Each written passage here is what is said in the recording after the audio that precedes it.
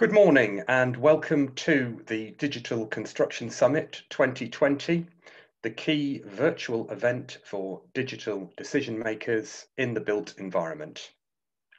I'd like to thank our partners for this three-day event, the Chartered Institute of Building, Construction Manager, BIM Plus, AppVero, the Centre for Digital Built Britain, i3PT, Ignite, Plan Radar, Buildots, 3D Repo, and Oculo.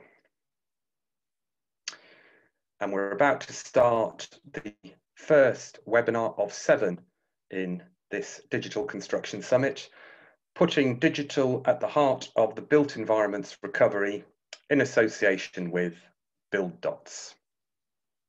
I'm your chair for today's webinar, Will Mann, editor of Construction Manager, and I'm very pleased to introduce our four speakers for this first session.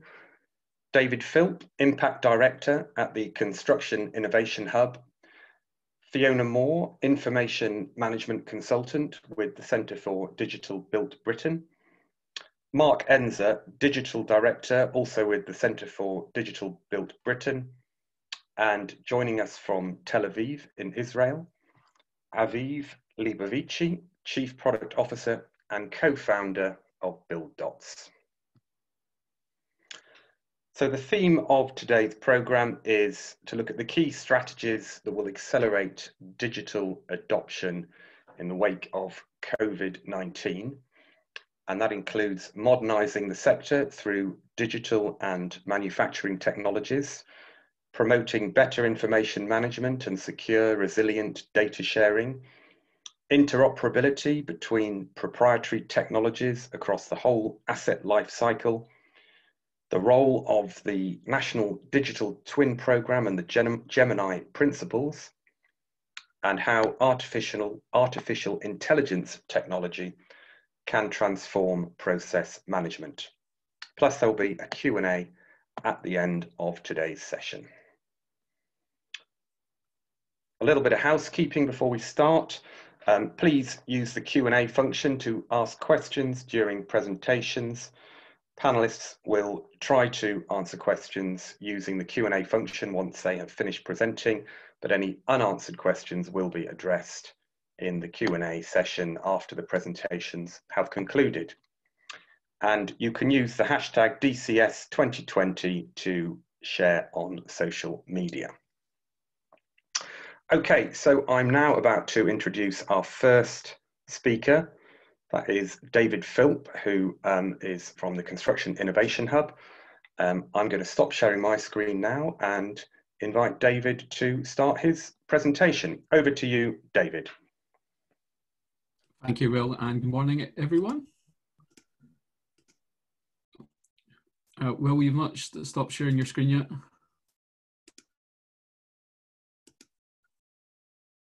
Good morning, everyone. I'm just waiting on Will on sharing his screen. Sorry, Dave. I think I have unshared. No, I'm, I'm, getting an error message. You cannot start screen share while other participant is sharing. So. Okay, bear with me. So, Will, Will, Will's getting us ready. I say good morning, everyone. As you heard from Will, I'm David Philp. I think that's me now. Hopefully. No, sorry, Will. Still not. Still not happening. Sorry about this, Dave. That's okay. Uh, hopefully that says no. Yeah, that says no. Thanks, Will. Yep. Great. There we go. So, good morning, everyone. And as you heard from Will, I'm David Philp, and I'm Impact Director for Digital at the Construction Innovation Hub. And I'm really delighted, I'm sure, with my fellow panelists to join today's inaugural session, which is focused on how we put digital at the heart of the built environment's recovery. So, who am I? Well, I'm David Philp, and sorry, just jumping about a bit. I'm David Philp. I've been with industry for some 25 years, and I think probably for the past decade, I've been working in a sector, I think probably for about the last decade, that's increasingly digitized, working with themes from building information model, digital asset management, and I think even increasingly digital twinning as well. So what we're seeing is a real maturity within the marketplace, and you know, really delighted to join today's events. And I think like most events, this one has now become digital enabled. And I'm really looking forward to letting you know how at Hub we are putting digital at the heart of the built environment's recovery. And I think it's quite amazing when you consider the major impact that COVID has had on our sector. It's clear that construction, along with many other sectors of our economy, I think it's fair to say will be irreversibly changed. The new normal will be anything but normal. And I think also, you know, reflection, you know, the aftershocks of COVID may well not be with us for probably years to come. So for us, digital enabled ways of working will become the norming. And that's with working practice, which we used to take for granted, probably becoming redundant. So it's really important we take time out at conference today and explore the opportunity that digital can afford us as we go forward within there. So as Will mentioned, I work for the Construction Innovation Hub, or HUB, within there. So actually, who are we and what's our mission? So HUB brings together expertise from three centres. You hear from Mark and Fiona in terms of the Centre for Digital Built Britain, but we also work alongside the Manufacturing Technology Centre and the Building Research Establishment to transform UK construction. Many of you may know that HUB was launched back in 2018 and it's funded through UK Research and Innovations Transforming Construction Industrial Challenge Fund. And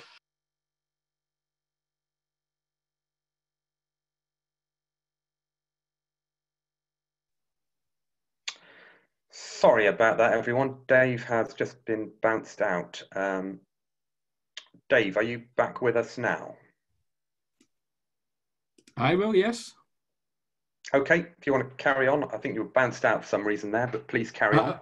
Yeah, okay. I hope we'll get back within there as well. So, so the, the big part, as we're saying, within the Hub's mission is very much to be a catalyst for transforming our sector through manufacturing technologies, digital ways of working, and you know what we're trying to do. Again, key to today's theme as well is boost productivity, exports, and asset performance. It's really at the heart of it is going to benefit society within there as well. So we provide a complementary skills across our three centres.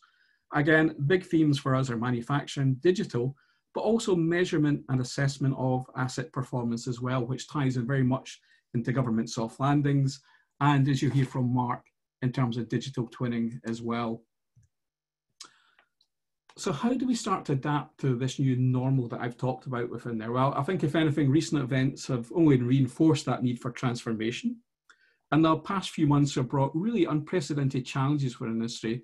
And I think, as we mentioned, impact probably not yet realised.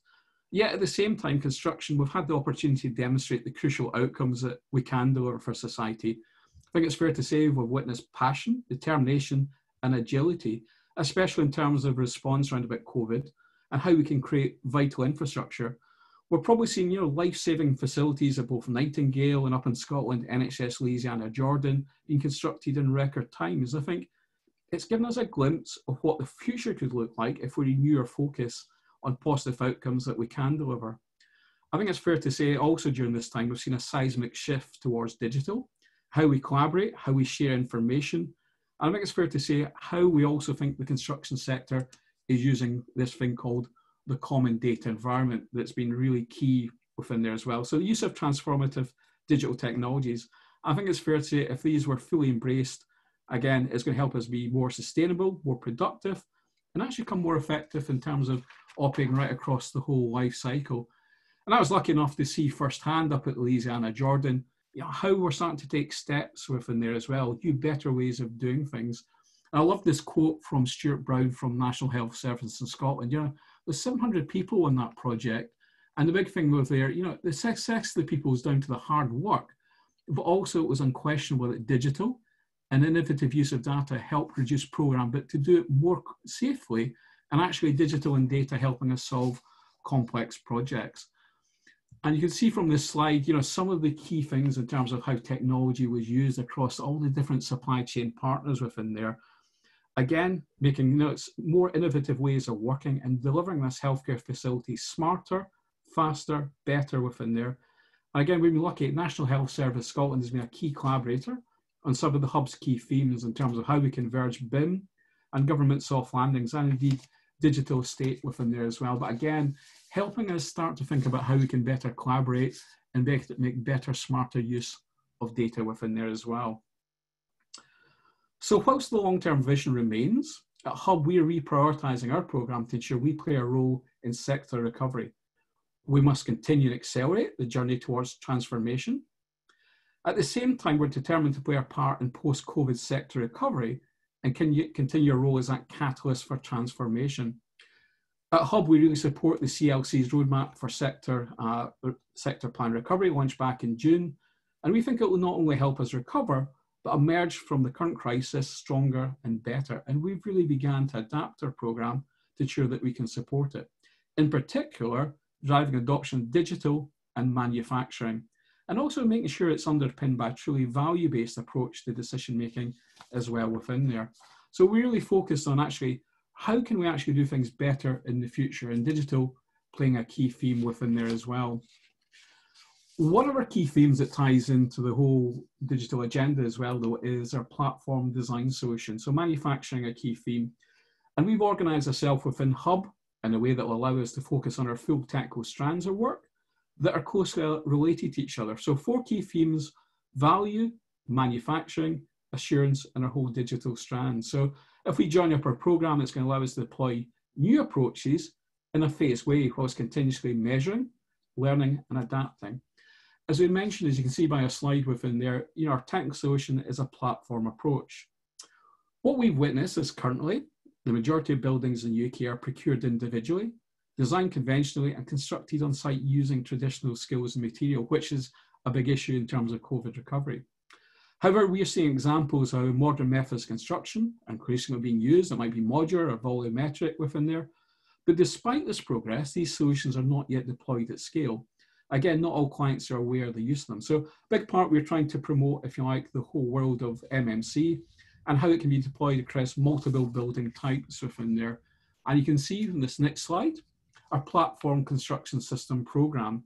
So we're working with industry to identify and co-develop a digitally enabled platform solution, one that can be designed, manufactured, installed in a structural carrier frame that can be used across multiple building types.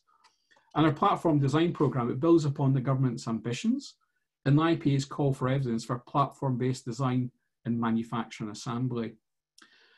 Big part though is our digital solutions and they'll provide, if you like, they'll support you know, this route to recovery and underpin the future of not just the platform, but resilience of our sector. And what we're seeing with compared with traditional construction, the data requirements for the platform you're seeing are going to be front loaded and fixed. Well, that will help us improve process and efficiencies and indeed quality of information exchanges throughout the concept, design and construction of our operation. Well, this is also made possible with our suite of tools. We call it our platform construction digital wrapper, which include tools such as digital route to assurance. So we believe that actually can, if we embed digital and manufacturing technologies and processes, we start to lay the foundation for a sector that's really much more resilient within there. And the big part adds value across the whole life.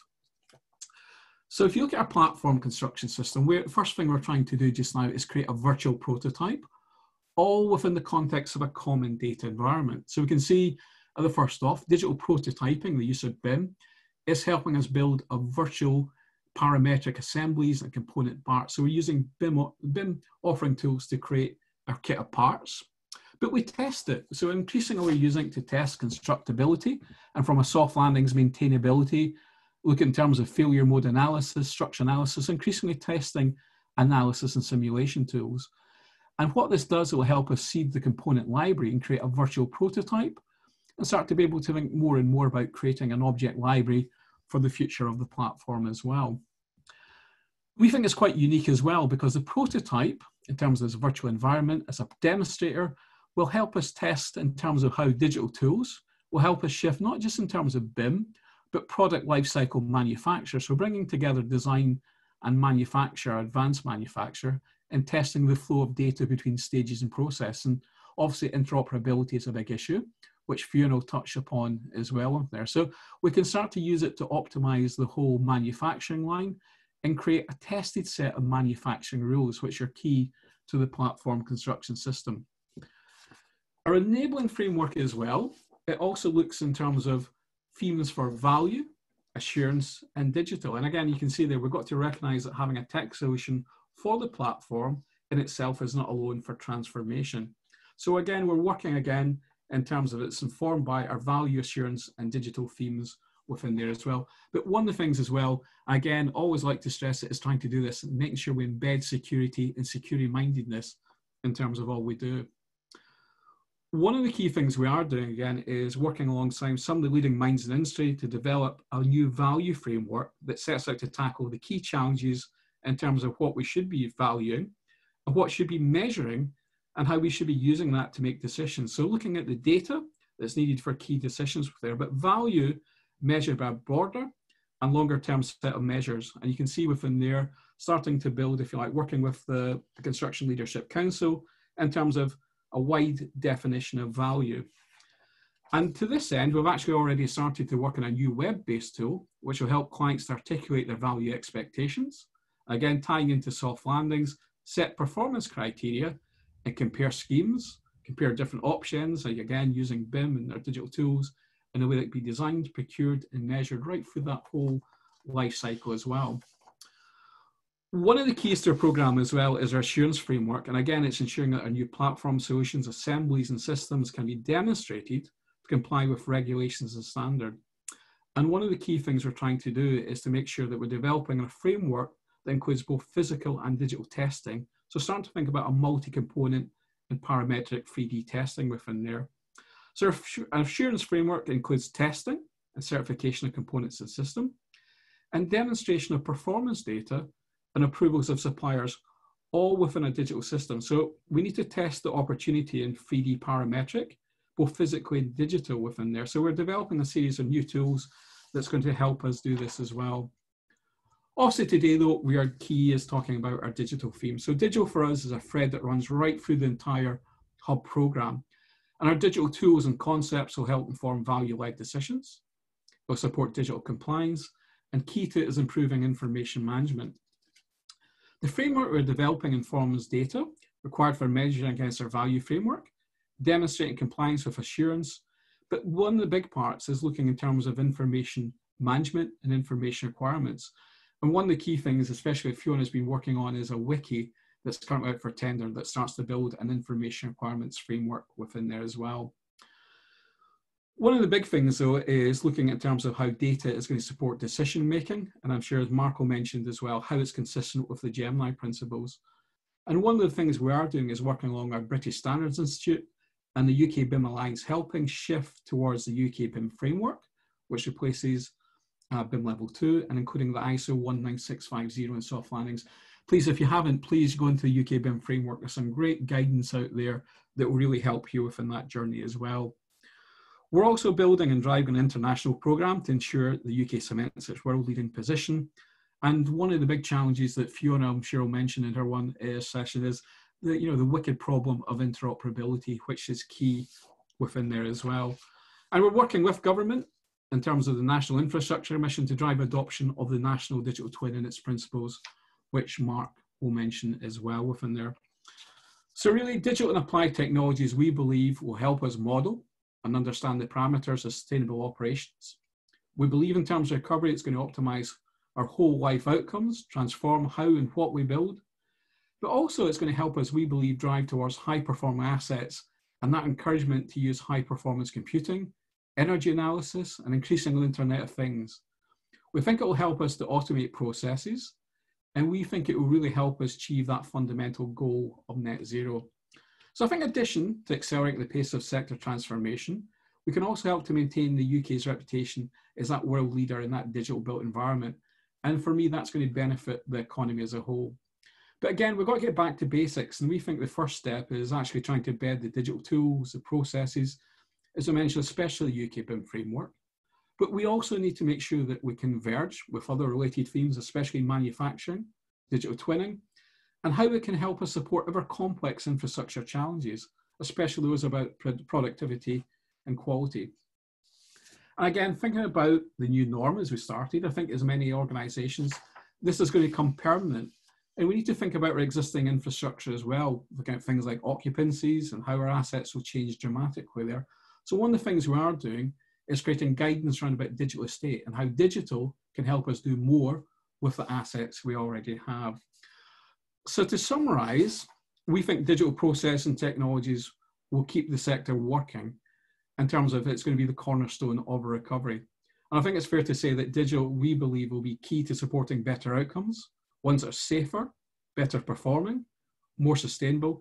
And I think a key thing is still to continue to attract new talent into a sector. So we believe that digital solutions will provide a route to sector re- recovery, but I think also underpin future resilience in the construction sector. So thank you listening to our message. And again, what we say, you know, please get involved. You've got our details if there.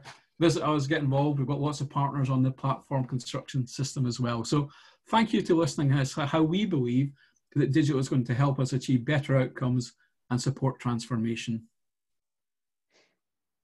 Thank you, Dave. That was excellent. Um, if you can now um, unshare your screen and I will hand over to Fiona. Fiona, could you start sharing your screen, please?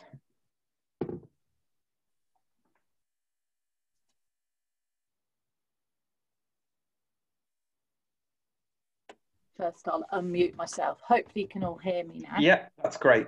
Thank Thanks. you, Fiona. Off Thanks, you go. Hard act to follow, Dave. Thank you. Um, yes, this is all part of the new normal, isn't it? I'm sat in my spare bedroom talking to a, a, a good number of you um, without being able to see your faces and your reactions. Um, I know a number of you. To those that I do know, hello. It's good to uh, see you on this and hope to catch up with you soon. So, as part of the new normal, we're working remotely. We're as busy as ever. And this piece of work, the BIM Interoperability Expert Group are undertaking, we want to increasingly share with industry. I believe it's a really important part of upskilling and recovery. And we don't want to sit in a corner doing this quietly and then expose our working out. We want to engage with you. So, a bit of a call here to, to action if this is something that interests you, then please do get in touch. Um, who I am, for those of you who ha haven't, I haven't had the pleasure of meeting, my name's Fiona Moore. I'm part of CDBB's implementation team and the work that we do comes under the Construction Innovation Hub. I've been working closely with a number of you and Dave and the rest of the, the BIM team in the UK in getting BIM out there and used so that we can get the, the beneficial value of it. And let's be honest, we've come an awful long way and BIM is embedded in many projects. I think we've got a variety of understanding of what BIM is, and it's that information piece that interests me most. Dave's talked about the interoperability of building co components, putting together a platform. Ultimately, that is going to provide us with a built asset but also lots of information that will help us going forward. And we need to address this problem of interoperability. It's not always a problem, and I know there's lots of people working on a future state, more from um, Mark when he speaks. But you know, we need to address some of the real world issues, and that's what the group's been put in place to address. So what do we mean by interoperability? Well, the definition we've used is the ability of two or more systems to exchange information and to use the information that has been exchanged. And why is this interesting to us? Well, increasingly we're looking at information beyond the capital stage that can be used during the whole asset life cycle. We're looking at major procurers now that have been in the BIM space for a long time they understand the value of the use of this information. Think of the number of times you start on, for example, a refurbishment pro, uh, project and you can't get to asset information as built information. So it's obvious that this information is useful to, to clients. They need to procure and protect this information. Then we have to do justice to their suppliers. You know, if they're asking for that information, what does that mean from a supplier point of view? what is it they need to do to, to meet their clients' expectations. So to that end, we need to consider information and how it's exchanged across the contract line. There are lots of clever and in innovative proprietary solutions out there that help supply chains to collaborate and to exchange information, and all of those are valid. But quite often, this, this falls over when information is passed across the contract line is received by the procurer and they have no way of housing that information and making um, proper use of it. So we need to address all this in the context of authoring software's proprietary solutions.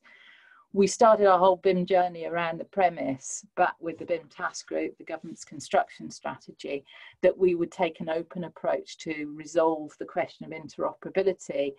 And things haven't always landed in that way. So ultimately what we're trying to address is real world application. In the UK, having developed the, the British standards and now being lucky enough to, to have, have helped inform the international standards with lots of good work um, in, in that space, um, we have context for all of this. And we can talk about theory, but increasingly we need to talk about practice. What does it mean for somebody sat at a desk who's been asked to produce COBie, for example? Um, what does that mean? What do they need to do in the application to provide what it is the client is asking for? And we're not treading on the toes of the National Digital Twin work that Mark will talk about next. Um, there, there obviously is um, lots of crossover, but we're talking about the short term now and in the next five years. So it is to help people in this space to achieve interoperability, to produce practical end results in the short term. We are, however, and I know Mark would say this himself, producing strong foundations for the digital twin. Mark is very much, and others in, in the space of the National Digital Twin work are very much looking at what we're doing um, and there is a conversation going on.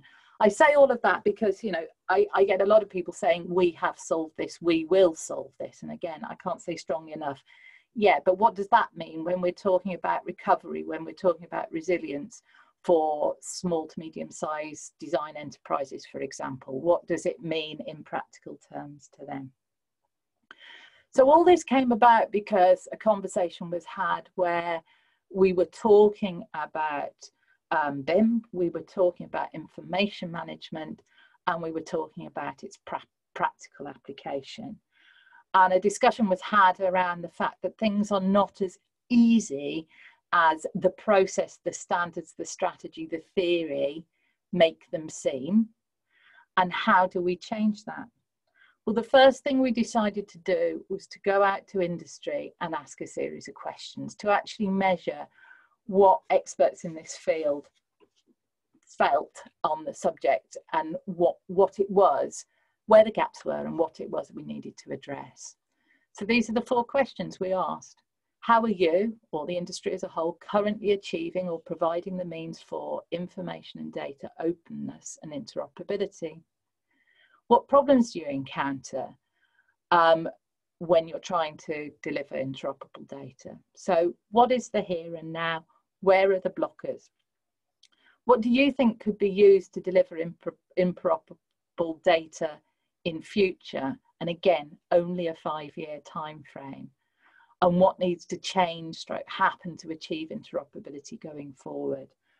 I got into a discussion on this subject with someone about a week ago and it all came back to people and cultures and attitude and so on and so forth. And a lot of this is about people so um, i'll talk more about it in a bit in a bit but a lot of this i'll come back to the fact is about educating sharing experiences, seeing all of you as part of this, this conference, all of people out in, in industry, um, delivering projects as stakeholders in this work.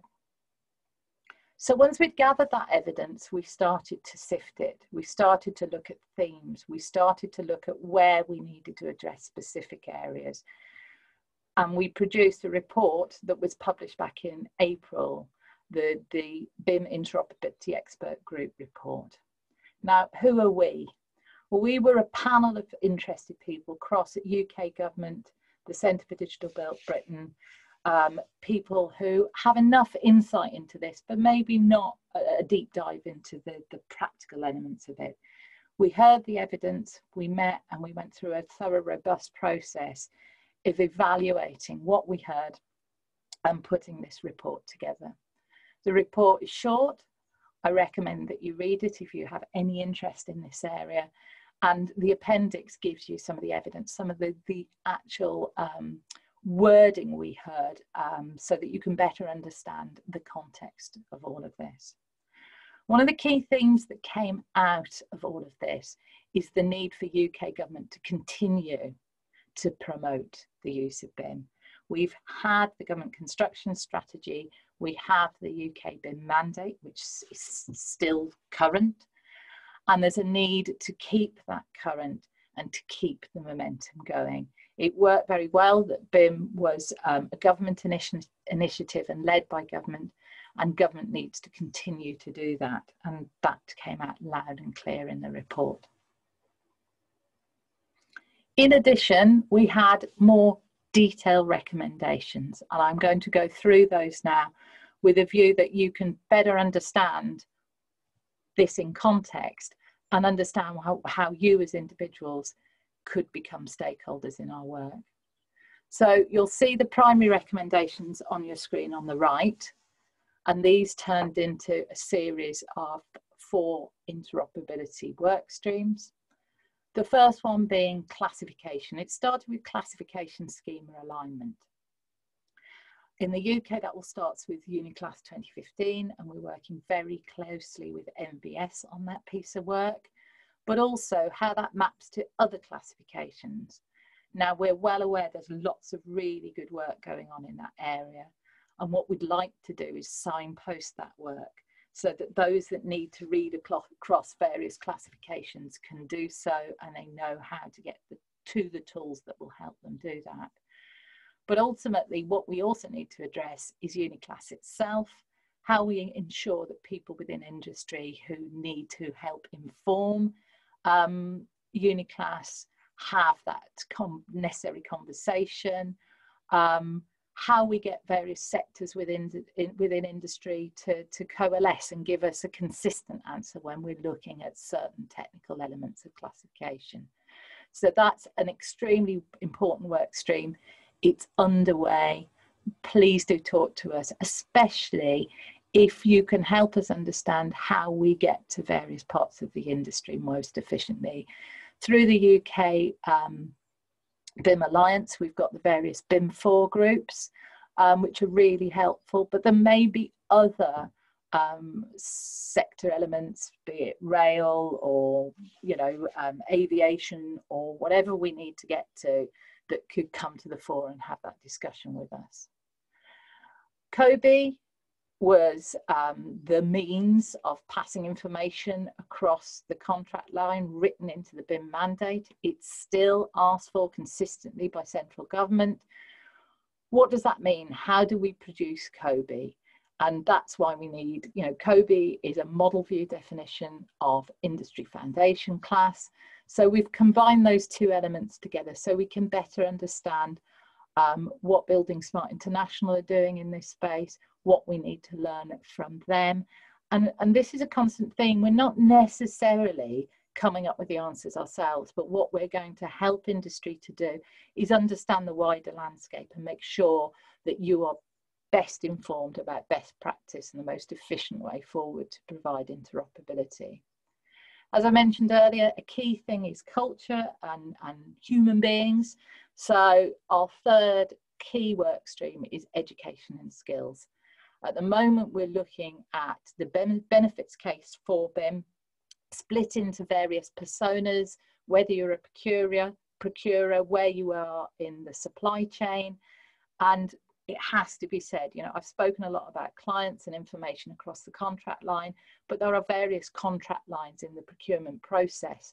So, you know, at one point you may be a constructor, at the next point you are a, a client to someone who is somewhere else further down in the supply chain. So, education and skills is key, understanding the benefits of all of this, and taking a persona approach is key. So watch this space. A lot of the, the engagement and communications we're going to be doing will be based around education and skills. All of this happens in context, so standards are key, and we have a work stream to, to which is currently looking at British standards, international standards, how they all fit together in this space, where there's clashes and overlap, um, whether we need to potentially consider those in moving this work forward. Those are the primary recommendations and enablers that we're currently addressing. In addition, we're looking at some of the secondary recommendations, but frankly, these are quickly coming to the fore. Workstream 5 is, in, is currently termed Information Management Platform. Um, it was called in the report an AIM CDE, an Asset Information Model Common Data Environment. I haven't got much time to talk about this, but in a nutshell, it's how do procurers get that information across the contract line? How do they ask for information? In what format do they ask for that information? How do they assure the quality of that information when they receive it? How do they measure that quality before it actually gets to their AIM CDE? So we've moved the terminology on it's not yet set in stone, but I think information management platform is the best, best way of, of articulating at the moment. But it's helping procurers provide a seamless process for asking for information, measuring information, and inheriting information into their systems. Two new work streams that have only kicked off in the last couple of weeks are standard information approach. We called it standard data approach, but actually we're talking about information requirements and standardizing those. Can clients approach their information requirements in a common way so that each time as a supplier you're asked for information, it looks similar. It's sort of an 80-20 rule. Do most clients need um, information in common, that's your 80%, and any information they need that's bespoke is the 20%. And briefly, Dave mentioned the information, the BIM information requirements wiki tool that we're developing. We're developing a tool that is hoped um, client entities and their supply chains could start to play with to try and take a wiki approach to, if not reaching a consensus, trying to standardize this information approach across industry. And then finally, and this is not treading on the toes of others who are in this space across CIH, procurement contract directly relating to interoperability. So how do we need to write into contracts the need to achieve um, technical interoperability? It's not good enough to say, give us BIM. We need to get into the weeds and we need to articulate exactly what that means technically. So before I wrap up, just to repeat, there'll be frequent updates to industry as the programme of work progresses. We're looking at how to engage. There'll be blogs and there'll be blogs coming out in the next couple of weeks, um, giving more detail on this because this has been a rapid run through what we're doing. We propose putting together articles. There's a section on the CDBB website and that section will be subdivided into the various work streams. So if you take a particular interest in the work stream, you will be able to be informed as to what we're doing via that route. But we're looking at increasing one-to-one -one consultation, roundtable discussions and workshops to address these technical issue, issues. So if you want to become a stakeholder, you may already be on our list because we may have identified you with, without having yet engaged with you, but please do get involved with CDBB engagement by the address you can see on this page. So thank you, Will, for this opportunity to talk to everybody. And I really look forward to the opportunity of talking to many of you again as the work progresses. Thank you. Thank you, Fiona, for that excellent presentation. Um, if I can ask you to unshare, which you have now, and Mark, if um, I can now ask you to screen share and uh, over to Mark. Hi, thanks very much. I'm just hoping that that's come into the, the full screen. Can you con confirm that you're seeing that okay? Yeah, that's fine, Mark. Okay. Thank you. So um, thankfully, Dave and Fiona have done kind of half my job actually in uh, in setting the context and done a done a brilliant job for that. Um, because so much of what the National Digital Twin is about uh, is built on on BIM. So, um, uh, like I say, really set the context well. But what I'd like to do in this in this short time is uh, introduce the, the, National Digital Twin and explain what it is uh, and also what it what it isn't. Uh, and in order to get there, I feel I need to set a bit more context uh, and at the end, what I hope to do is uh, introduce the Gemini principles uh, as, as promised by, by Will at the top.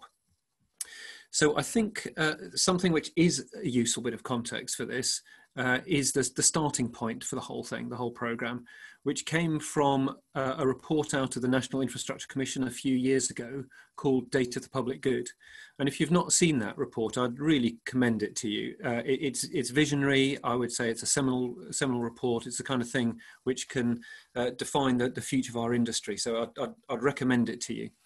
But at a high level, what it recommended was that we should move towards having a national digital twin and that to enable it, we should put in place an information management framework. I'll explain what that is in a minute. Uh, and then to enable that, uh, we should pull together people from across government and industry and academia so that we align and pull together to achieve the above. and so the, the role of CDBB in all of this uh, is to deliver that information management framework that unlocks it all but, it, but it's not our job to go and build the national digital twin. The idea is that we unlock it, we enable it, we facilitate it, uh, but it will be the market that builds it. Uh, and so what we see we're doing here really is building a whole new category, a whole new market of, of some really exciting work of developing digital twins and, and connecting them up. Uh, so, like I say, CDBB's job is to deliver that information management framework. It's also our job to help to foster the alignment uh, and get the industry to, to pull in the same direction. And events like this, I think, are, are really helpful um, for getting that message out and, and, indicating that this is a collaborative exercise where really we need to build consensus and pull in the same direction. Uh, and, and the direction that we're going in is this fantastic grand vision that we have for Digital Built Britain. Uh, and CDBB are the kind of the guardians of that, that vision. Uh, CDBB, if you don't know about it already, is um, a collaboration, a partnership between BEIS and Cambridge University. Uh, and the vision that is described, I think, can, can be uh, summarized in, in the four words here the design, build, operate, and integrate. Uh, and the programs that CDB works on cover all of those areas.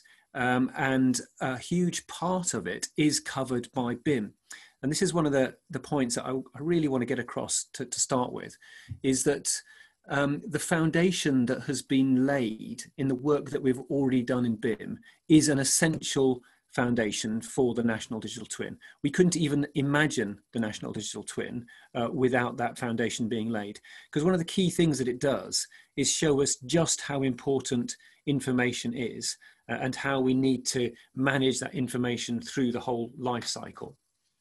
It means that we can see information as a value carrier.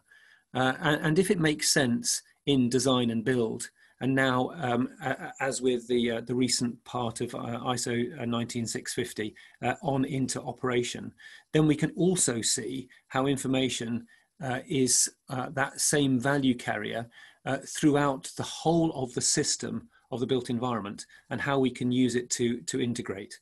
So we've got, got these words, design, build, operate and integrate, that can describe uh, this, uh, this exciting vision. But um, another thing that I want to emphasize is that it's those same words that appear in the UK BIM framework. This is the same vision. So what we're talking about really with BIM and the National Digital Twin is a continuum it's not a, a, different thing where we can go and forget the work we've done on BIM because we've got something more exciting now. It's not that. What we're saying is that this is a continuum, and, and the more we recognize it as such, uh, I think the more successful we will be.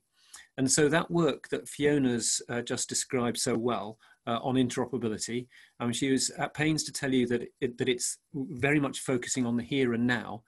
But that whole issue about interoperability is absolutely central to the National Digital Twin. Um, and um, when I come in a moment to, uh, to introduce exactly what it is, you'll see why interoperability is absolutely at the heart of the National Digital Twin. So hopefully I've made the point now. This is a continuum. We're, we're talking, we're you know, carrying on the same story. It's not a, not a different story. so another bit of context for the National Digital Twin uh, is uh, how we see the built environment. And I think it's important here, uh, not just to describe the scope of the National Digital Twin, which covers economic infrastructure, social infrastructure, and the interface with natural environment. I mean, it's obviously important that we know the scope that we're talking about, but it's kind of seeing how these things are interconnected. Because when you add all of those layers up, you get the built environment. Uh, and this is the most amazing complex machine that we've built for ourselves, that, that we live within, that enables society to function. But the point is that we've built an awful lot of it already. Uh, and it is uh, de facto a system of systems. And we kind of have to see that system to get the value out of the system. Uh, and so we've already talked about um, managing information through the life cycle. It becomes important to see uh, just how those life cycles fit together. So this diagram, uh, I think, helps to illustrate that. It shows that at the center is the use, the use of our built environment. You know, that's where we get the value from it. That's that's kind of why it exists. It's to benefit people and society, and and it's the the use of the infrastructure, the services we get from it that deliver the outcomes we want. The, um, the outcomes in terms of social, economic, and environmental outcomes. So the use is, is central. And in order to unlock that use, we need to operate and maintain it.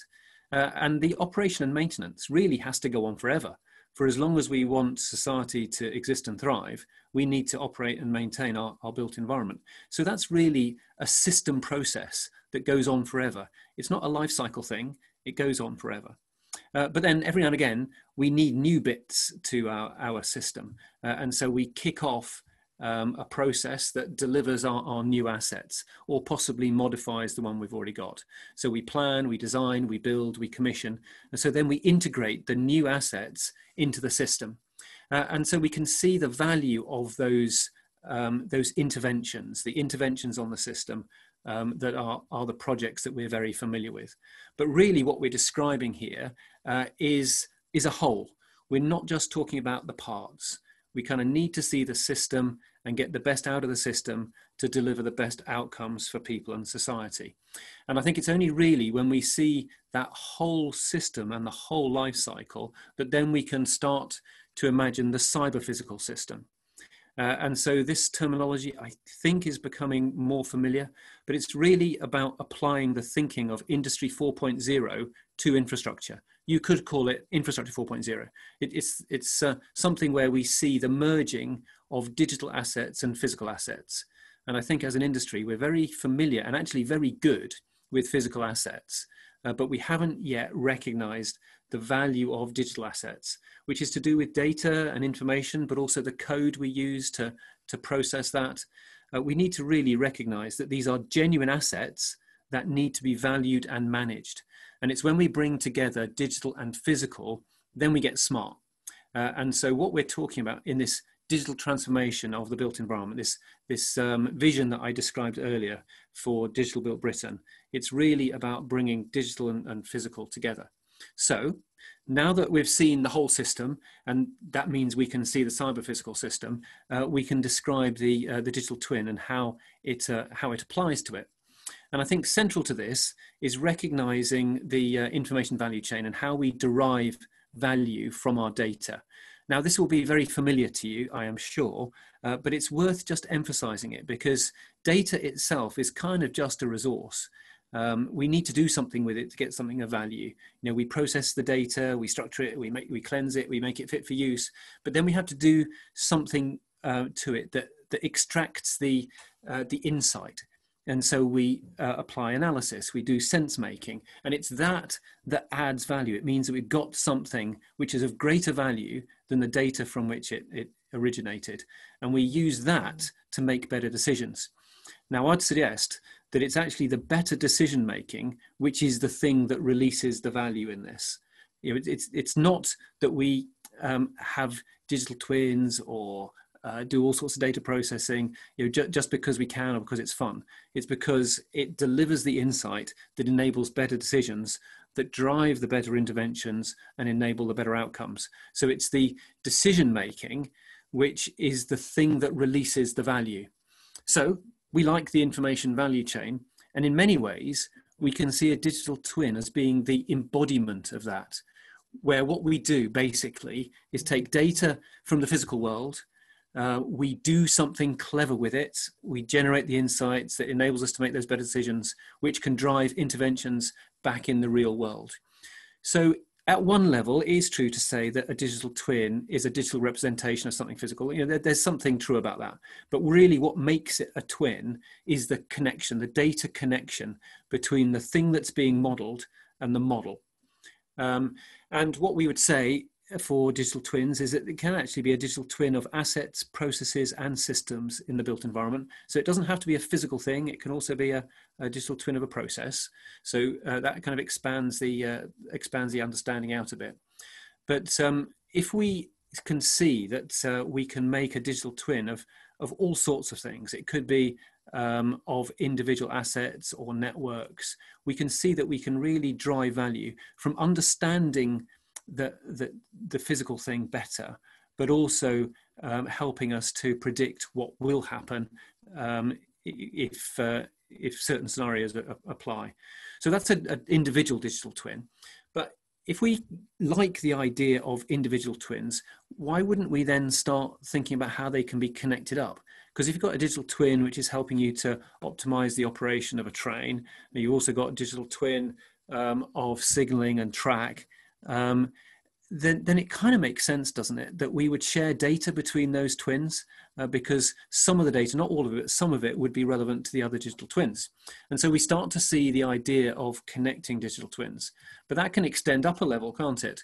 Where we can then see the connection between uh, different modes of transport, between rail and road and, and air. And then we can take it up again, where we can see the benefit of sharing data between sectors uh, energy and transport or energy and water because it's self-evident that those sectors are connected. So why wouldn't there be um, value in sharing data across those and the digital twins which are which are involved in them? And so what we can see here is is that an ecosystem of connected digital twins, and that really is the definition of, of our national digital twin. It's not intended to be one massive model of everything it's intended to be much more organic than that. It would be um, an ecosystem of connected twins where we build it kind of one connection at a time, one use case at a time, driven by purpose. So each digital twin would have its own purpose, but then we'd connect digital twins where there's a point in connecting them. So we're not talking about connecting every twin with every other twin. It's only driven by, uh, by purpose and, and by value. So that's introduced uh, what the national digital twin is. Um, I think that um, you probably already understand where that can provide us uh, with value to society, the econ economy, uh, to, to, business and, and, to the environment. Uh, and and uh, inevitably on this call already, we've had uh, net zero mentioned. You can kind of see that with something like net zero, uh, that it is quintessentially a systemic challenge. Uh, and so it demands to have systems-based solutions. You know, it, it, needs to have information shared across sectors for us to have a hope of, of solving that. So that's exactly the kind of thing that uh, the National Digital Twin feeds into. Uh, and, and, what you'll see is at the heart of the, uh, the National Digital Twin is this concept um, of sharing data. If you boil it down to its essence, uh, what it becomes about is secure, resilient data sharing across organizational and sector boundaries. Uh, and so when I said earlier on that CDBB's job is to enable this and it's somebody else's job to go and build it, the enabling, the core of the enabling is about secure, resilient data sharing. Uh, and that's where the information management framework comes in. It's all about interoperability to enable that data sharing, to enable consistency and quality of data. Uh, and we produced this, uh, this paper early in the year. Um, I'd commend this to you as well. Uh, even though it's technical, it's very readable. Uh, and um, what it recommends is that we move towards uh, having this semantic solution uh, to enable the consistency and quality of data that would reduce the friction of data sharing and, and effectively pave the way for the national digital twin. And then the final point that I'd make, uh, I said I'd eventually come around to it, is on the Gemini principles. What we see is that this journey, this exciting journey for the National Digital Twin, needs to be guided by values. It needs to be principles based. And so, one of the very first things that we did as a program uh, was develop and, and suggest these principles that would guide us through what could be um, a, a multi-decade, multi-generational uh, journey to, to get uh, to the, the national digital twin. So uh, it's built on purpose, trust, and function. I won't run through what all the principles are, but if you're interested in them, uh, we can pick them up in the uh, in the questions afterwards. But something I would point out is how uh, built into it is is some kind of tension. So you see right at the centre there, um, we're saying that uh, it, it should be as open as possible, but also we're saying that uh, it must enable security and be secure itself. And so you can see, it may be in some ways, that there's a tension between openness and security. We're not saying what the balance point should be between those. We're just saying that they're both important. Uh, and then it becomes a conversation for us in the industry to work out where that right balance point is so that we can get the national digital twin uh, that we want and that, and that we deserve. So with that, I'd like to, uh, to say thank you and uh, hand over. Thank you, Mark. That was excellent. Um, I'm now going to invite Aviv to speak and share his screen. Um, Aviv, over to you. Perfect. Thank you. Um, so, hello everyone, and I am Aviv. Uh, short introduction. I am one of the co-founders of this company called Buildots. I myself come from a, from a technological background and I am in charge of the, the product and the customer facing roles within the company. So with that, just to provide a short intro on what Buildots is before I, I speak about uh, my experience for, for, today's topic. So quick, quick intro on, on the product itself. Basically, the product is meant to provide project controls to, to project teams on site the way we go about this is we take 360 degree cameras, we give them to, or, or they are bought by contractors and they're used by the site team. These will be sort of mounted on hard hats as people go about, go about their day, they go about their routine, and anywhere that the camera visits is analyzed by our software. This is an AI-based software that will identify where this person has been with the camera and what it needs what needs to, to be within that space based on the design, based on a model, a BIM, BIM model, and then correlate that with the program to understand where we are and what is going on, and is there anything that is uh, not work, not, not being done at the right throughput or not being done correctly, and all that is available through this dashboard system. But uh, Buildots is not really the topic today, so I won't be speaking too much about the specifics of that. Just to give you though one short image to explain, I think explains a bit better what it is. What we're seeing here is a snapshot from our system. This explains how it works. On the right, you're seeing the drawing of that specific floor.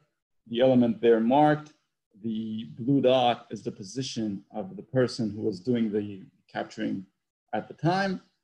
And then on the left there is the wall, which is the element that the system is currently analyzing.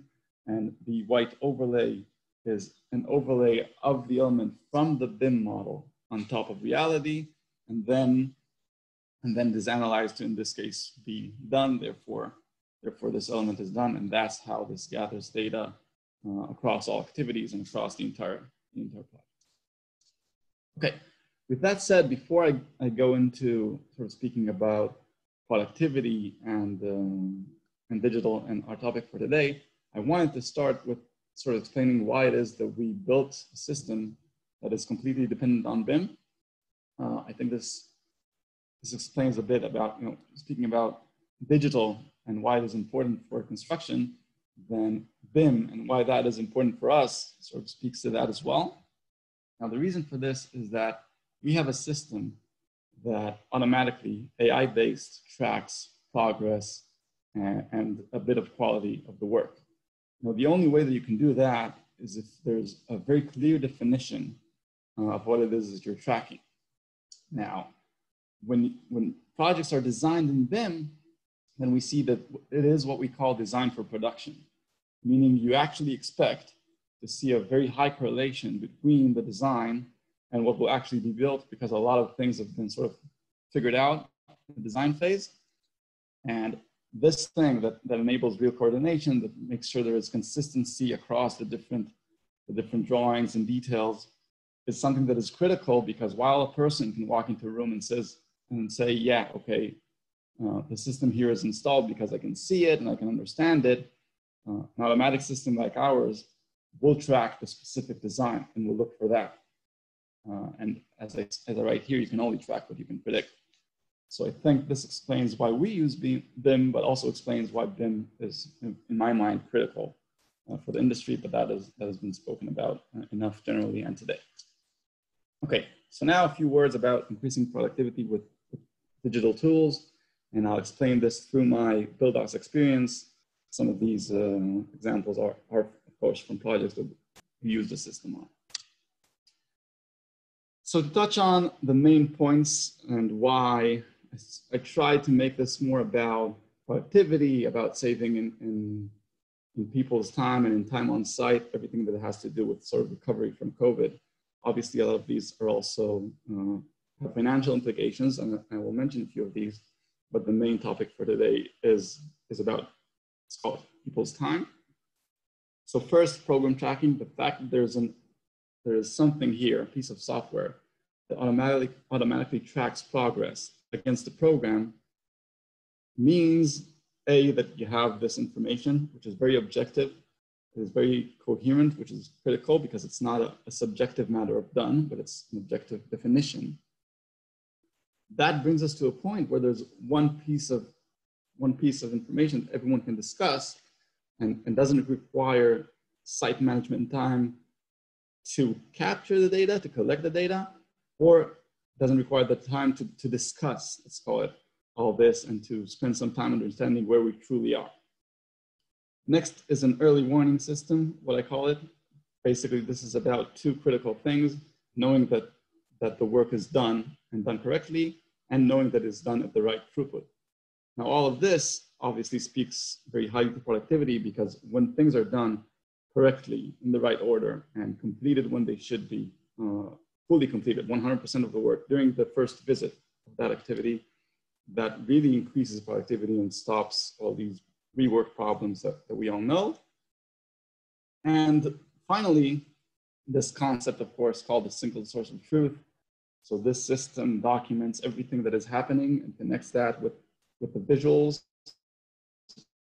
And it, of course, supports a lot of workflows, but the, the, the essential part of this is, is, as I mentioned just a second ago, that the collaboration becomes a much easier process because suddenly we're not discussing, we're discussing on top of information, which brings us to a point that generally speaking, collaboration is easier and, and flows better, let's call it. But also, of course, with people working remotely, and we have seen that um, during these past few months, of course.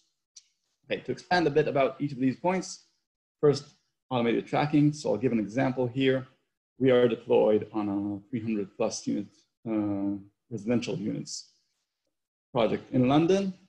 And what the site team there sort of assessed is that to do one, it's called one go of collecting the data, of capturing visuals so that you can support that data, and producing a drop line in the, in the program, in total will take around 80 man hours. And then when you use this system, it's just about the people walking around so that is four hours. And actually, a lot of times they will do that while they do other daily tasks. So you might think that it's a bit less. And the critical part about, th about this, of course, is just people don't really have that much time in general on construction sites, especially now where we're seeing projects that have a reduced sort of management team or people working 50% uh, of the time from home or anything like that. And saving this sort of, let's call it collection time is critical and can be the time up to make the decisions to understand what needs to be done in the future. Next, uh, call it full details, but this is an example of this early warning idea. So in this example, what happened here is this is about more the quality of work. This was uh, during a lightweight steel frame construction on this, on this project. And basically what you can see here on the left, the two images, is that originally there was an opening missing there. You can see studs and cross bracing going through that. But seeing how it was picked up, it was then it was then fixed and and the opening is formed. Now the idea here is that this project has 515 doors on 812 such walls. Two openings were missing. And the amount of work that it would require for a person to walk around and check every single one manually is exactly the sort of thing that will reduce productivity. And then you're, you're faced with two options. Either you reduce productivity because you're spending a lot of effort in making sure of all these little details, which actually I think is not, is not real, not in a large scheme. And, or you reduce productivity because you don't find this and, and, and sort of examples like this. And what happens is that somewhere down the line, you have to do a lot of rework, you have to do a lot of second visits. And the possible effect here, again, assessed by the site team, would be a one week delay. So that is, of course, um, a, a, big impact on the productivity of, of this project and of everything. And again, there's also the financial element of just rework and, and what that costs. Another example of that, but from a very different sort of uh, sort of uh, angle. So we had, we did a little sort of research across the projects where we de were deployed, and we saw that if you're looking at residential schemes again, between two and 10 elements are missing per apartment. These are snags that are not picked up while, while, while ongoing snagging, let's call it, it's not picked up during the, the, main, the main construction phase. Now, between two and 10 of these, yes, they are small. Uh, it's one socket, it's one switch, but they cause the rework. They cause a lot of headache for the site team. And these handover periods become something that we have to chase around. Again, uh, pretty obvious the, the effect on productivity here. There's also the financial uh, aspect. Once again, uh, we came up to a point where we sort of, with our clients, understood that it's at least 300 pounds per unit to correct these. And then it's about, depending how are you the two per apartment or the 10 per apartment example? But it's anywhere between 60,000 and 250,000 pounds for such a scheme. But again, to reiterate the main point for the day, the productivity that is maintained when, when this doesn't happen, this doesn't need to happen, when you know a day after the, in this case, electrician, this image, left the apartment, that there's actually an opening there missing, and there's a box that should be there that's missing, uh, is tremendous. And if we can get to a point where all of this is done on first visits truly, then that could be very significant to the, the way we do things. And lastly, but most importantly, is uh, resource management in terms of a real site example. So basically, this is about maintaining the continuous flow of construction. And this is something that's very difficult to do.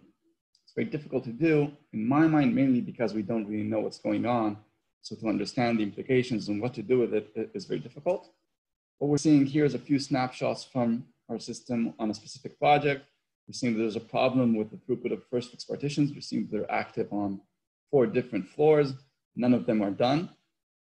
And then we have Screed that's about to follow up, and you need to manage your resources in this case to make sure that the flow can continue and there are no problems that cause sort of dents in productivity and then dents in the people's motivation to be on this site and people leaving site and all of this uh, knock-on effect. So that we're seeing on the top is that is that snapshot of the current situation. And what was done in this case was that they re reorganized, it's called the resources, to make sure that in this case, that level four is completed quickly to allow, to allow work to continue. But also, this was used as sort of back, uh, back, backing information to decide that more workers, more laborers are needed on site and then they will truly be productive. That is what happened. And what we can also see here on the right with the historical comparison is we can see sort of the knock-on effect of once first fix partition starts to lose touch, let's call it, with the program, soon after, so does Screed, simply because they don't have available workspaces anymore. And that's exactly the, the sort of thing that you're trying to prevent. Finally, um, this single source of truth concept. So uh, to put it in, in lockdown perspectives and COVID perspectives, we saw across our projects that the usage went up not by, but to 200% during lockdown. And the, the nice thing about this is, and I think that what we can learn from this is that once people start using digital tools, and that's what happened during lockdown because there was no other way. Uh, it could be that site teams used the tool for specific purposes before lockdown, but during lockdown, it was the only way to do a few things because they could not come to site. Once that happens, people get used to digital tools. And in our example, we saw that the usage rates were maintained once, once these individuals went back to site and continued working from site because they were exposed, let's call it, to the advantages of doing things in a different way. Um, so maybe a, a, small, a small positive for lockdown.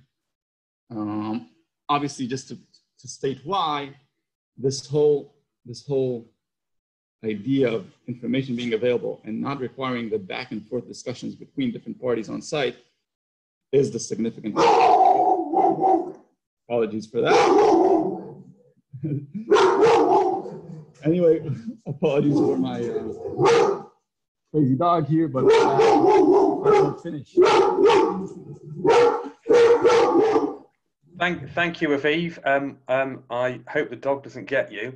Um, anyway, um, we have concluded our four presentations, so um, we are now through to the Q&A session. Um, I'm going to unmute all of our panelists and um, start running through some of the questions that have been coming in. We um, are a little bit behind schedule, but we've still got um, plenty of time to go through the questions that have been coming in. So first up, um, and this is a question addressed to Dave, and this comes from Clara Chung, who asks, is, is the platform construction system mainly targeted at certain types of buildings such as school and hospital, schools and hospitals, which are more standardized in terms of construction? Hi, well, I think that's a really great question. I think one of the big things about the platform construction system is it's designed to be very flexible. So there's flexibility in terms of room length and indeed the span. So the maximum span can go between nine and 12 meters and go up to four stories. So because of that, it's going to be you know suitable for a variety of applications. So in terms of schools, offices, apartments, but many, many more as well. So the idea of the program is just now we're working with and in partnership with government departments and industry to determine, you know, what the various, if needs are for a building. So there's a lot of flexibility, but so basically, so long as we can work within the parameters, you know, up to four stories, up to a maximum span of uh, 12 meter, it's going to be available for a variety of applications, but starting somewhere, you know, the schools, offices, you know, are a good starting point there. So the things probably it's not, you know, really suitable for is more your warehouse, your sporting halls, with anything that's you know floor to ceiling generally exceeds say up to three meters but huge flexibility but you know schools and uh, offices make a good starting point. Thanks very much for that dave. Um, a question for fiona um, from daniel oni um, hi fiona. Will there be a concern for data security risk amid building information exchange especially during this period where the adoption of remote working is on the increase as a result of COVID 19? And if there is, what efforts are being considered to mitigate the risks?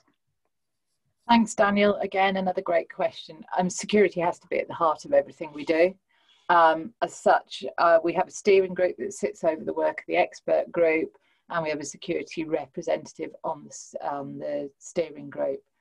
As yet, our thinking across the various work streams isn't mature enough to start to, to answer your, your second question what will the, the mitigation be? But in everything we do, we need to think about security. Um, if you're sharing information, it's a bit like I always used to say about emails. If you're writing an email, consider it a postcard. It's not a sealed letter. Um, so the first thing you have to do is is understand what information you have to protect and why. So like any potential risk, it's about identifying areas of risk and not putting in blanket security where risk doesn't exist, but actually identifying the risk and, and, and responding appropriately. So I think the work stream it's going to be most appropriate to is the standard information uh, approach work stream where we're listing our information requirements and we're considering which of those info information requirements have a, a security impact. But watch this space, I can see us having a security work stream and if it's something that particularly interests you daniel then you know do engage with us and Dave, I don't know if you want to um, comment on that as well, because I, I, know your remit uh, covers uh, security. You've done quite a bit of work on this in the past. Yeah, I mean, again, as Fiona says, a great question. I think you know the, the, main thing is you know security is inherent in everything we do. You know, ISO one nine six five zero Part five, you know, has given us a great starting point, and you know we're working very closely with uh, CPNI to make sure that uh, everything is aligned. And again, I think it's a great resource. I'd say if you know if people can go to the CPNI website and uh, and have a look, there's a great resource there. Thanks, One Dave. thing as well, though, just to say is, sure. you know, the, the view that we've always taken is, you know, that security is something is very holistic. It's not just about cyber security within there as well. It's you know looking at all aspects of it. Sure, sure. Um, a couple of questions for Aviv, um, if you're still with us, Aviv. Um, how quickly is the data collected by Buildots' cameras processed? Yeah, sure. So we're at a point today where it's between 24 and 48 hours, uh, depending on a number number of project parameters. But I think the the important sort of answer in this in this regard is that we're looking to get it to 12 and then four hours. And the reasoning for that, which I think is key, is because again, when you look at digital tools and looking to use them for real process management, then suddenly you need data that is truly up to date. And for us, we're now at a point where it's between 24 and 48 hours, which makes it pretty up to date. But the, the real goal is to do a capture at the end of the day, have it ready the next morning. That's when this information can truly become a driving factor for everything that happens. Okay, and um, one other question, Aviv, uh, when when you, you talked about the um, the project that uh, you, the technology had been used on, how receptive were the site team to, to using the technology, using the cameras, and how quickly did they get up to speed with it? Well, in terms of doing the captures, it was uh, pretty quick. It's pretty simple simple thing. You, you mount it on a hard hat with a clip and then you press one button to do the capture. Nobody uh, had too much of a fuss uh, using that. I think the interesting part of that is that what we saw, we saw subcontractors who are not the users of the system and are not the ones who are paying for it. That is the main contractor. Suddenly became very aware of it and we're looking to, I had a number of discussions with subcontractors on projects where we were deployed who wanted to see how they could maybe get it deployed on other projects that they're working on. Because, yes, it's not their tool, but they, everyone sees the benefit of having this information for that collaboration purpose. So then suddenly saying, well, if something is going on, I want to know it because it will come back to me eventually, and I'd rather know about it early. So for me, that's a real testament to the fact that the industry needs to move more and more to a position where we all have the same information, we all have the same data, and we use it wisely together. Thank you, Aviv. Um, and uh, a question for Mark. Um, Mark, I just wondered which industry sectors um, where you're seeing the most um, adoption of, of, digital twin principles, where, where, you think we're, we're likely to see that um, take off um, most in, in the short term. Yeah, we're already seeing a lot of activity in uh, in energy uh, and in transport and in water, mm-hmm. um, and uh, so that's that's really encouraging. Uh, and clearly, what we're wanting to do is uh, is encourage that advancement of the state of the art in in digital twins. Uh, but then, as I explained, we want to help to get them connected up as well. So what, what we're seeing at the moment is quite a lot of activity in developing individual twins um, but not so much yet in uh, trying to connect them up. Uh, but like I say, m- main activity seems to be energy, transport, and water, uh, and you know the, the market is clearly growing very rapidly. Thanks, Mark. Um, I, am I'm, I'm guessing the, the common theme there is that those are all uh, clients or end users um, which operate their assets as well. Um, someone's just asked a question about um, what sort of involvement you've had from end users in the digital twin process, including building operators and facility managers. Um, and has there been a different approach for these professionals? I just wondered what sort of um, take up you, have had from from people on the sort of FM and building operations side. Yeah, yeah, and we also see quite a bit of, of activity in, in that space too. Um, and I think it's interesting to, to see kind of who really is the end user in all of this, because uh, you can kind of imagine people who are operating buildings might be the owners of the builders, uh, the, the, owners of the building, um, or uh, as the questioner has indicated, that the, the people doing the operation. Um, I, I, think it's also good for us to see the end user being the person who, who's using the building. You know, it's you and me. It's it's ordinary people who are living in these in these buildings or working the buildings, um, and uh, who get served by wider infrastructure. Uh, and and I I think it's our job really to drive the uh, improvements for for those ultimate end users, uh, and that kind of gives the whole thing purpose. But, but to kind of be a bit more specific about this particular question, uh, yes, we are seeing uh, quite a bit of activity uh, in facilities management and the, uh, the, the people who kind of operate um, buildings to to make them livable and workable in. Okay.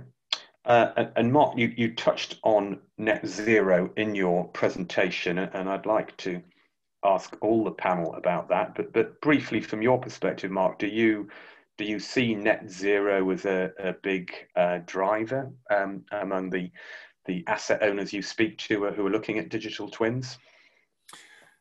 Um, very much so.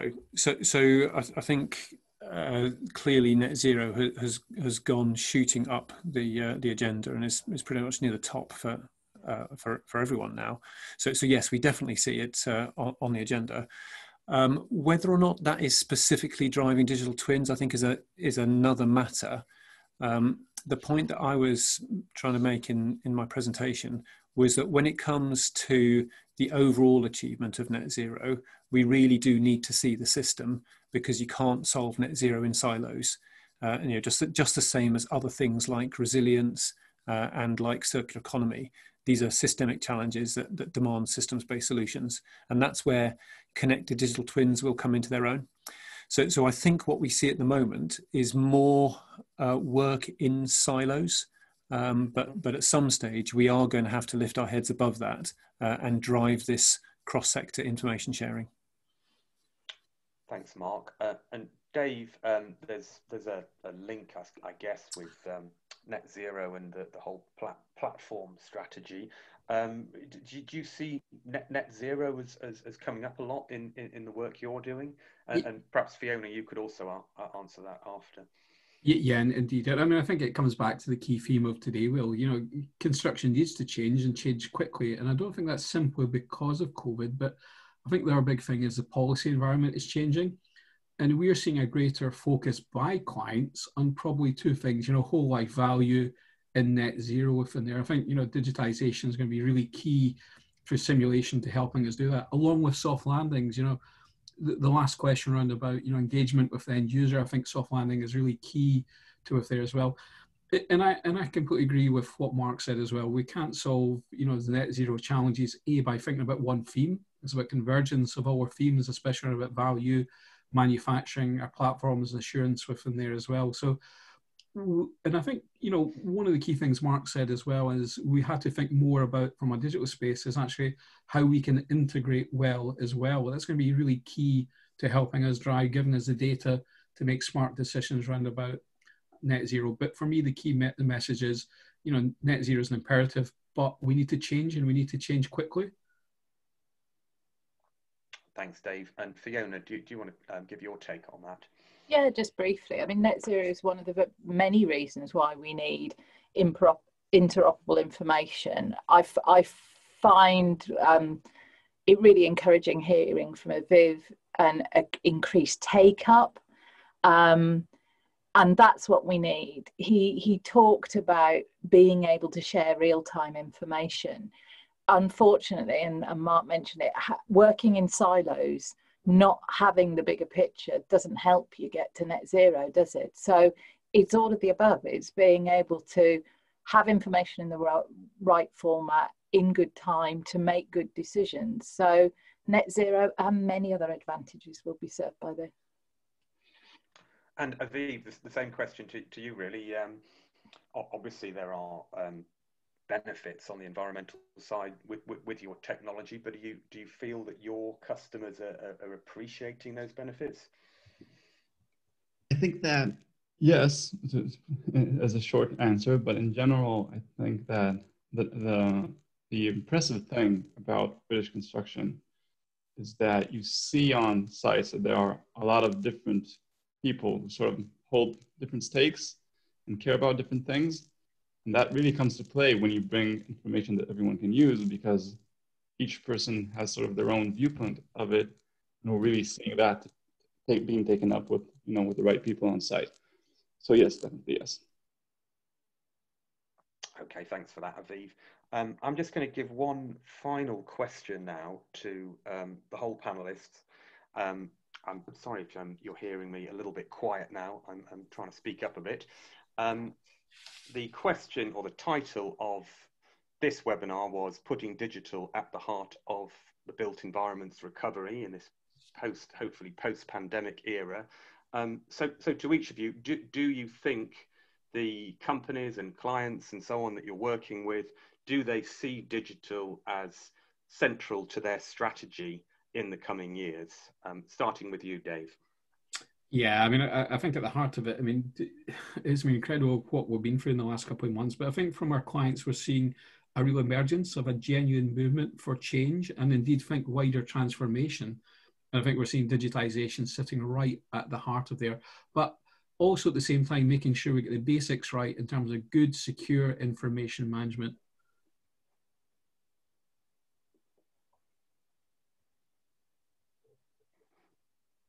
Sorry, I think we've lost Dave there. Sorry, I, am here. Will, can you hear you're, me now? You're there? Oh, okay. Um, thanks, Dave. Yeah. Um, if, if you want me to say that again, sort of thing. So, you know, my view is yes, from clients, we, we think we're really seeing an emergence of a genuine movement for transformation and change with digital right at the heart there. And I must admit, I've got a real sense of excitement about the, our future and how digital is going to support our built environment recovery. Thanks, Dave. And, and Fiona, the same question to you. Yeah, my background is an, as an architectural technologist. I work quite closely with, with two architecture companies um, in, in my UK region.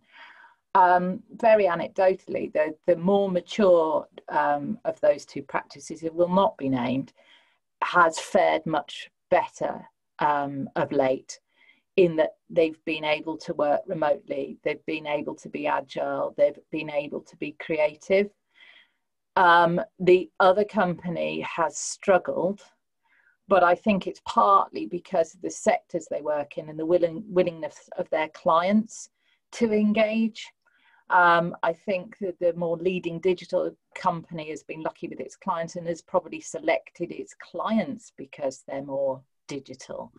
So let's not forget, you know, this is a transaction, and quite often the, the supplies in all of this are led by the client's appetite for it. So yes, I see great enthusiasm. I feel sorry for those businesses that that can't easily jump onto this journey because you know maybe their clients aren't as, as forward looking as they are. Hmm, good answer. Uh, and Mark, the uh, the same question to you. Yeah, I mean, what it feels like to me is that is that COVID has been an incredibly cruel teacher but but we have to learn the lessons. And, and it seems that, that some of the, the lessons which have been coming out really loud and clear is, is just how connected everything is uh, and also just how important data is uh, and and that digital is essential. It's not it's not a choice now. So so i think another thing which is pretty clear is is that the economy will be in a worse state as a result of, of covid. So so what that tells me is is that um, we've got to get more out of what we've got. Uh, and uh, I, I, guess all of those things just point towards us needing to make progress in this uh, digital twin and connected digital twin area because you know that's that's what they'll do. They'll they'll help us to get more out of what we've got when we see that whole system uh, and use digital to the extent to which uh, it's possible. We're not we're not doing it yet, but we can get there. So so I, I think there's something hopeful in the message, even though um, yeah the, the picture looks pretty bleak. I think if if we learn the lessons, uh, we recognise the system, we make the most of digital. I think we've got a chance of um, of making that recovery. A good positive message. And um, over to Aviv, I, I know you, have already indicated that there's been um, increased take, take up of your technology um, since lockdown started. Um, perhaps you could just say a few few final thoughts on that. Yeah, definitely. So, well, in general, I think that you know we as a company, when we founded it, we decided to start uh, to start with the British market because we believed it's advanced in its approach to construction technologies, and I think that has proven itself very strongly because I mean to give one point that sort of proves that all the examples of from projects that I've shown you today, and from actually I think a vast majority of projects, probably 80, 90 percent that we are operating in, are from clients that sort of heard about us and approached us. So that speaks to to the way the industry and specifically the company that I'm I'm working with currently are approaching this whole this whole digital digital construction thing. That's great. Thank you very much, Aviv. Um, we are just about out of time, so uh, we've actually overrun a bit, but uh, I'd like to thank all of our speakers today, David Philp, Fiona Moore, Mark Enzer, and Aviv Leibovici from Buildots. Just leaves me to say you'll be able to access this webinar on demand if you need to. More information on Buildots is available on their website, buildots.com. And you can find details about the rest of the program on the event website, digitalconstructionsummit.uk, and editorial coverage of all of the sessions across the next three days will be available on constructionmanagermagazine.com and bimplus.co.uk. So that's it um, for this first session. Thanks once again to Buildots and everyone who participated, and uh, we will close it there. Thank you.